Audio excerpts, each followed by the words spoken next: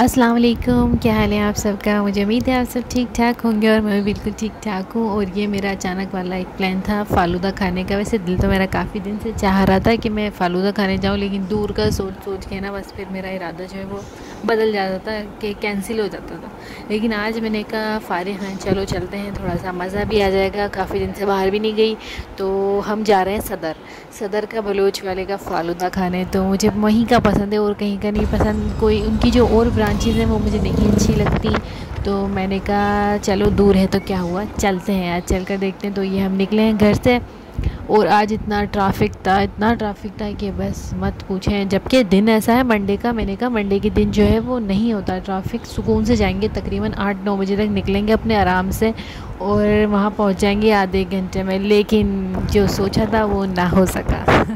ऐसा नहीं हुआ। जब हम घर से निकले तो इतना ट्रैफ़िक था, इतना ट्रैफ़िक था। ये तो इंडस्ट्रियल एरिया से गए थे तो इतना नहीं, इस तरफ़ नहीं था।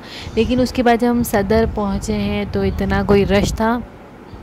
और फ़ालूदे का ये था कि फ़ालूदे के लिए पहले मैं सोच रही थी कि सदर में दिन में चलते हैं। दिन में पता है, ख्वारी लग जाती है, इतना रश होता है, रात में सदर जो है वो बंद हो जाता है।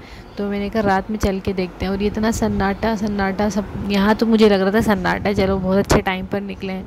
लेकिन जब हम वहाँ पहुँचे, सदर की तरफ़ इम्तियाज़ जो है वहाँ कयूमाबाद कहलाता है। उस तरफ़ जब हम पहुँचे, ये ट्रैफ़िक की सूरत हाल आप देख लो कितना, इतना रश और मुझे रश में बिल्कुल मज़ा नहीं आता, लेकिन पाकिस्तान में ना, और कराची की ट्रैफ़िक तो बहुत ही मशहूर है। यहाँ आप कभी भी जाएँ रश ही मिलेगा। ये अवाम सोने वालों में से नहीं है हर वक्त जागने वालों में से अवाम हम लोग सोचते थे कि सऊदिया में ही ऐसा होता है कि वहाँ दिन रात ट्रैफ़िक चलता है तो आवाम घूमती रहती है। लेकिन यहाँ पाकिस्तान में भी ऐसे ही होता है कि पूरा रात के बारह एक बजे भी आप आएँ तो आवाम नज़र आएगी आपको हमेशा। तो बस ये हम निकले हैं अभी। ये पहुँच चुकी हूँ मैं सदर सदर की पुरानी पुरानी इमारतें देख कर आपको अंदाज़ा हो गया होगा कि हम आ चुके हैं सदर और सदर में इतना ट्रैफ़िक इतना ट्रैफ़िक जबकि मार्केट बंद हो जाती है सदर की। तकरीबन कोई आठ बजे के टाइम आठ, सात, आठ इस टाइम बंद होना शुरू हो जाती है। दुकानें बंद होने के बावजूद खाने पीने पर इतना रश होता है क्योंकि यहाँ खाने पीने की चीज़ें ज़्यादा हैं। जो लोग कराची में रहते हैं उनको तो पता ही होगा। और जो कराची से बाहर है, वो कभी ट्राई करें आके बलोच का फालूदा और ये बग्गी खड़ी है। कभी इसकी राइड लो, कभी बैठी नहीं हूँ मैं इसमें। मज़ा आ जाए। इतनी ट्रैफ़िक में तो घबरा जाए बंदा। खैर, घोड़ा भी घबरा जाए ट्रैफ़िक देखकर। लेकिन ये तो आदि ही होंगे, इनको घबराहट नहीं होती होगी। खैर, हम पहुँच चुके हैं बलोच फालूदा और ये मेरा फालूदा आ चुका है और इतनी गर्मी हो रही है, मौसम इतना गर्म है, मुझे ऐसा लग रहा है कि ये शॉप से बाहर आते आते ही मेल्ट हो गया और ये मेल्ट होता होता मेरे पूरे हाथ पर गिर रहा है। मैंने कहा, जल्दी से एक वीडियो ले लूँ, उसके बाद खा लूँ फटाफट। और मुझे इतना पसंद है कि मुझसे सब्र नहीं हो रहा। मैंने कहा, बस अब मैं खा लेती हूँ।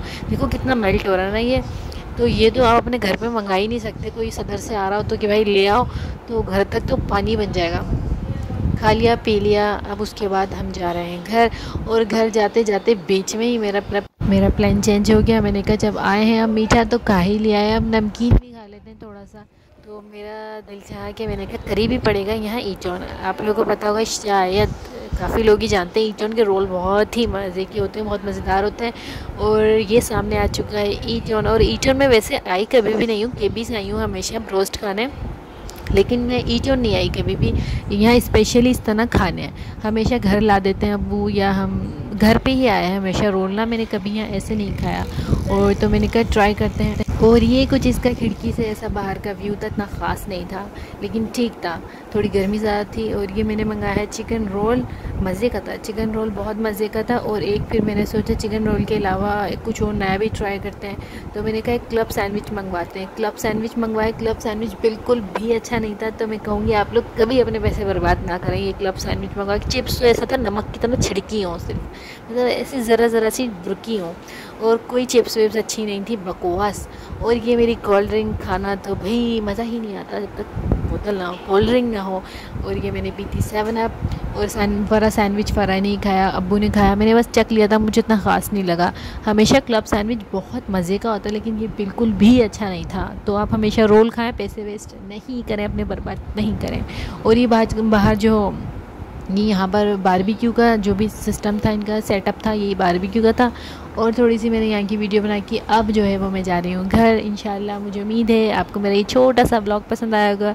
चैनल पर नया है तो प्लीज़ चैनल को सब्सक्राइब कर लीजिएगा लाइक एंड शेयर भी। अल्लाह हाफिज़।